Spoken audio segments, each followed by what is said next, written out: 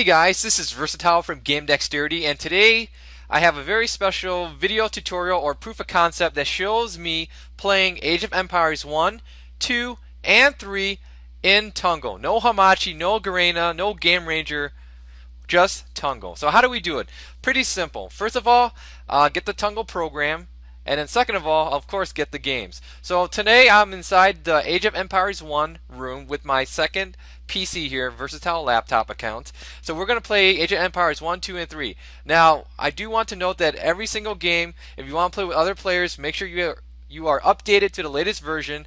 And there's one trick you gotta do for Age of Empires 3. Took me a while to figure it out on Google because when you host the game, it uses your internal IP address 192.168.0. whatever. So we want to force Age of Empires 3 to use your Tunngle IP address. How do we do that?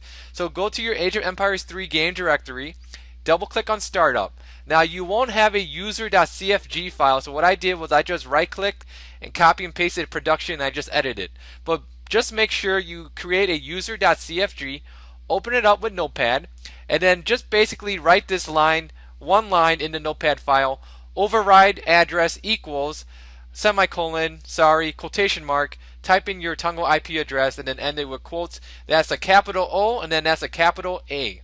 And then you file, save, and then that's it. And then when you run the Age of Empires 3 game, it will use your Tunngle IP address when you're hosting. So with that said, let me jump straight into all three gameplay videos. It's going to be a good time. Let's do this. Alright, so here we are, Age of Empires, main menu, click on multiplayer, and then go ahead, type in your name, click on Internet TCP IP, click OK.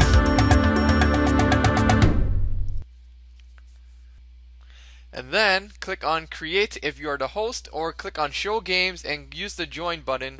If you are the client, give your game a name, press OK.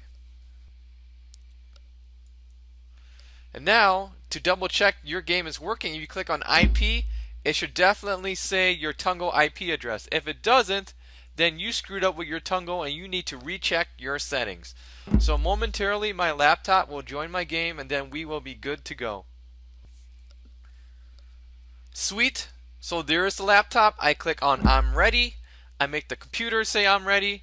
And then I say start game. And here we go. So the game works fine. Uh, definitely like this game. It's old school gaming. If you want to play, definitely hit up the Tunngle room. So now let's go ahead and go to the next video game in this series. Alright, so here we are, Age of Empires 2, The Age of Kings. So let's click on multiplayer and type in my name here. And it's pretty simple, just go down to local LAN TCP IP. My laptop currently has the game already up and running, so I will be joining the laptop today. What's going to happen is going to be automatically looking for game. Oh, look, laptop's game. Sweet. I click on join. And it's as simple as that.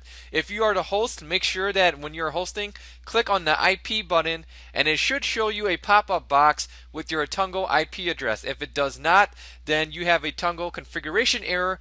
I suggest you take a look at the Tunngle troubleshooting video. So, like I said, if I click on this button here, oh, maybe not, because I am the client. But if you are the host, you will have this IP button right here. You click on it and it'll show you your IP. So now all I gotta do is click on I'm ready and I will have my laptop do the same thing and start the game and we will be good to go. 10 seconds. 5 seconds. So if you are an Age of Empires 2 fan, by all means hit up the Tunngle room and let's play. Now, the colors are a little bit screwed up in Windows 7, maybe in Windows Vista. If you do the resolution trick where you alt tab, open up the properties of the screen resolution and then go back into the game, then all the colors are fine. So, I hope you enjoyed this video. Let's go to the next video game series.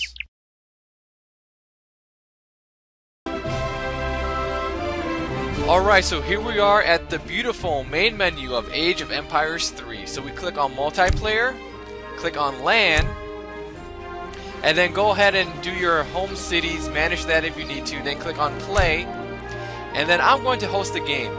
Um, if you're going to join a game, basically my game will show up right here, and then you can just click on join and you're good to go. So let me host the game. Notice that in the top center here, it uses my IP address, just like because we use the user.cfg file and configured the override address equals your Tunngle IP address within the quotation marks. So now I just change this to two players because that's all I got today.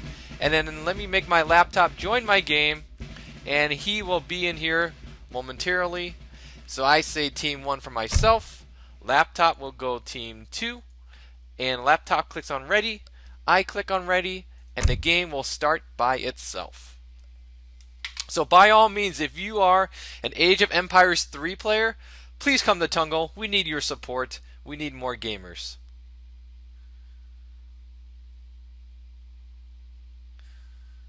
And I just want to show you guys that yes, this does work. I'm hosting a LAN in my house, but yet people all over the world can join me. So the game clearly works. Um, it's not lag. It's not lagging at all. Um, and that's about it. So if you have any questions, go ahead and leave a comment here on the YouTube page, and I will get back to you as soon as possible. Once again, thank you for watching. Take care. Bye.